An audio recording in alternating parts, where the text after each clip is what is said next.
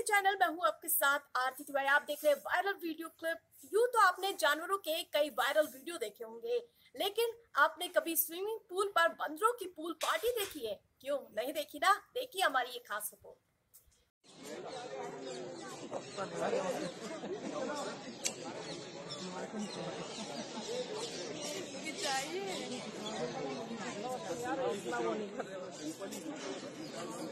report